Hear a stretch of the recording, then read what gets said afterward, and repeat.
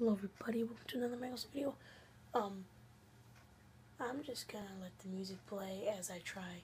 Everybody knows that Colin Kaepernick had a 90-yard rushing touchdown against the San Diego Chargers. So, I'm gonna see if I can get Cam Newton a 90-yard rushing touchdown against the Seattle Seahawks.